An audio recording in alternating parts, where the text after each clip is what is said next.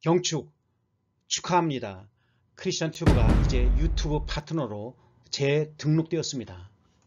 징계 크리스천 튜브는 지난 1년 가까이 영상 재사용 문제로 징계를 받아 전혀 수익을 창출하지 못했습니다.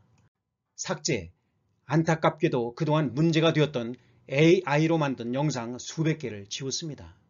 감사 1년 가까이 하루에도 몇 개씩 올리던 영상을 일주일에 한 번 정도 올리며 영상을 최소화하고 무료 사진이나 영상을 활용하였죠. 31일부로 다시 재신청을 하였고 11월 1일 유튜브 측으로부터 최종 승인을 받았습니다.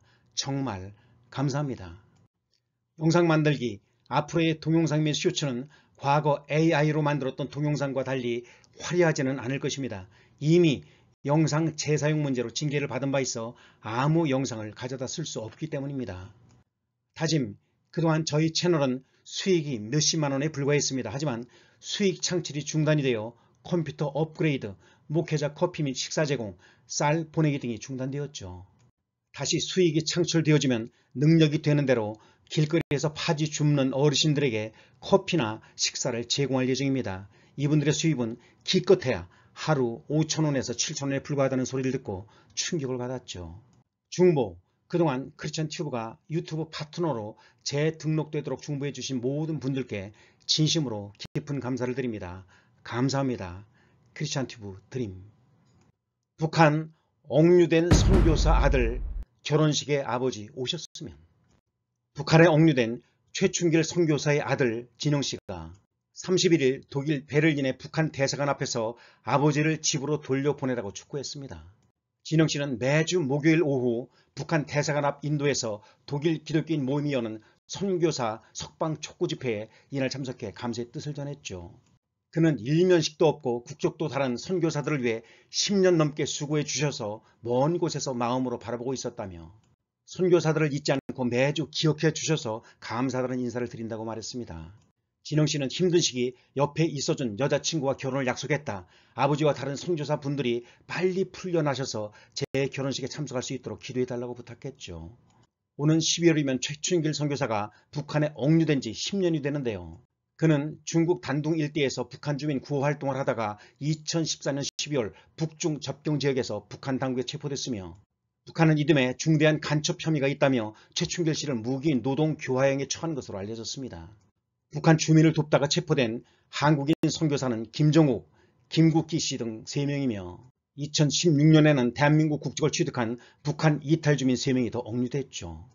독일 기독교 신자들은 2009년부터 북한 주민 인권 보장을 촉구하는 시위를 하다가 선교사들이 억류된 이후에는 석방을 요구하고 있습니다. 이들은 매주 모여 한결같이 기독교인 박해 반대한다. 북한 강제 수용소 문을 열어라. 미사일과 핵무기 대신 쌀 등의 구호를 외치고 있습니다. 이날은 북한군 러시아 파병 소식에 푸틴을 위한 북한 군인은 없다라는 구호가 추가됐습니다. 진영 씨는 이들에게 납북자, 억류자, 국군 포로를 상징하는 세송이 물망초 배지를 달아줬으며 통일부도 집회 참석자 이름을 새긴 감사패를 마련했습니다. 감사패를 전달한 최선영 통일부 장관 정책보좌관은 감히 따라할 수 없는 인류의 실천에 절로 숙연한 마음이 든다며 정의와 사랑을 위한 어르신들의 여정에 도움이 된다면 더할 나위 없겠다고 말했습니다.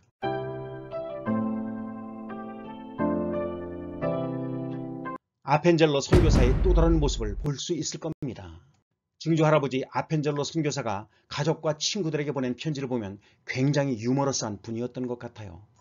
올 7월에 와이오밍주에 있는 사촌집에서 그동안 발견되지 않았던 증조 할아버지의 편지와 글이 많이 발견됐는데 한국 기독교와 근대사 연구에 많은 도움이 됐으면 좋겠습니다. 내년은 1885년 4월 아펜젤러 선교사와 언더우드 선교사가 국내 인천항에 처음 발을 디딘 지 꼭 140주년이 되는 해. 이를 기념해 한국교회 미래재단은 지난달 27일에서 2일 미 동부 뉴저지 펜실베니아 등에 있는 아펜젤러 언더우드 선교사, 알렌 선교사, 마펫 선교사, 전킨 선교사 등 한국의 기독교를 알고 개척한 선교사들의 고향과 학교, 생가 및 자료가 보관 중인 선교 유적지 탐방에 나섰죠. 지난달 29일 미 뉴저지주 메디슨에 있는 드루신 학교에서 만난 쉴라 플렛 여사는 기자단에게 아펜젤러의 미공개 자료들이 최근 발견된 사실을 알리며 나도 아직 다 읽지는 못했지만 지금까지 알려진 아펜젤로와는 또 다른 모습을 볼 수 있을 것이라고 말했습니다. 아펜젤로 선교사 장남의 막내딸이 플랜 여사의 어머니 아펜젤로 선교사는 드루신학교에서 공부하며 조선 선교를 결심했습니다. 드루신학교 연합 감리의 역사 고문서실에는 아펜젤로 선교사가 보낸 보고서, 편지, 자료 등을 포함해 감교 선교사들이 전 세계에서 보낸 방대한 분량의 자료를 보관 연구 중입니다. 교종을 온통 뒤덮은 노란 단풍이 인상적인 뉴저지주 뉴브런즈윅 신학교는 뉴욕대에서 교육학을 공부했던 언더우드가 1881년 이곳에 입학하면서 본격적으로 선교사의 꿈을 키운 곳. 맥크리어리 총장은 학생들이 우리 학교 출신 선교사는 언더우드밖에 없느냐는 질문을 많이 한다라며 훌륭한 선교사가 수없이 많음에도 불구하고 그만큼 조선에서 그가 보인 역할과 모습이 워낙 뛰어났기 때문이라고 말했죠. 이 학교 도서관에는 그의 흉상과 함께 관련 자료들을 전시하고 연구하는 언더우드 컬렉션이 있습니다. 학교가 배출한 수많은 선교사 중 개인 컬렉션 홀은 언더우드가 유일하다고 합니다. 언더우드의 묘지는 28일 방문한 뉴저지주 노스버겐 그로브 개혁교회에 있었지만 그의 유지에 따라 묘비만 남기고 유해는 1999년 서울 양화진으로 이장했죠. 와 끝이 보이지 않는데 30일 펜실베니아주 필라델피아에 있는 장로교 역사협회 지하자료 보관소는 문을 열고 들어서자마자 방문자들을 압도시켰습니다.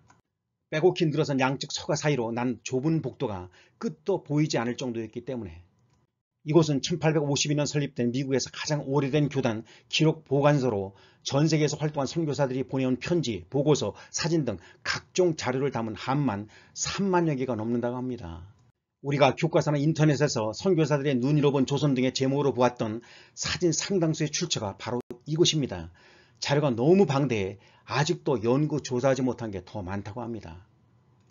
소강석 한국교회 미래재단 이사장은 주요한 몇몇 분의 활동과 업적은 잘 알려졌지만 다른 많은 선교사와 가족들의 활동은 조사 연구가 아직 부족한 상태라며 초기 선교사들이 한국의 근대화와 독립에 이르기까지 지대한 영향을 끼친 만큼 이들의 활동에 더 많은 관심을 기울였으면 한다고 말했습니다. 호주 기독교 학교 십자가 목걸이 금지 논란 무지개 액세서리는 허용 호주 멜버른에 위치한 한 기독교 학교가 학생들에게 십자가 목걸이 착용을 금지해 논란이 됐습니다.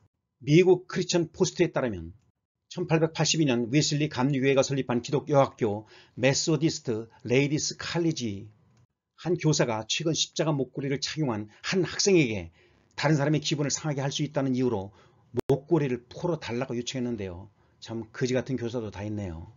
익명의 한 학생은 친구가 십자가 목걸이를 하고 있었는데 선생님이 우리 반 다른 여학생이 십자가를 불쾌하게 생각한다며 그것을 풀라고 말했다라며 친구의 부모가 이에 대해 항의하자 학교 측은 십자가 목걸이 착용이 우리 학교와 어울리지 않는 행동이라는 답변을 내놓았다고 밝혔죠. 또 다른 학생은 이 학교는 기독교 학교이지만 주류 종교를 가진 학생보다 소수의 의견에 귀를 기울이고 있다고 우려했습니다. 이 같은 소식이 전해지자 멜버른 침략의 목사인 머레이 캠벨은 학교가 포용성을 추구하면서 오히려 학생들을 소외시켰다. 기독교 학교에서 십자가 착용을 허용하지 않는 것은 아이러니하다고 비판했습니다. 강사이자 작가인 스티븐 차브라는 호주의 스카이 뉴스와 인터뷰에서 괴롭힘에 끼어 맞서는 소녀들을 칭찬하고 싶다며 학생들을 향해 십자가를 하고 다녀라 학교에 올 때 십자가로 된 목걸이나 상징물을 착용함으로써 다른 학생들과 교사 그리고 학교 전체에 이곳은 기독교 학교이며 마르크스 주의적인 우오크 학교가 아니라는 메시지를 보내라고 격려했습니다. 앞선 보도에 따르면 학교 측은 일부 학생들에게 십자가 목걸이를 풀 것을 요청했지만 다른 학생들이 동성애를 상징하는 무지개 액세서리를 착용하는 것은 허용한 것으로 드러났는데요. 이와 관련 줄리아시오 교장은 우리는 눈에 보이는 보석을 금지하는 일관된 복장 규정을 적용하는 것일 뿐이라며 이 정책은 모든 학생에게 동일하게 적용되며 종교나 개인의 신념과 관련이 없다. 모든 학생이 동일한 표현 기준을 준수하도록 하면서 다양한 커뮤니티 내 단결을 촉진한다고 해명했습니다. 감사합니다. 크리스천 튜브였습니다. 크리스천 튜브는 호주 여학생들의 십자가 목걸이 착용을 적극 찬성하며 응원합니다. 화이팅!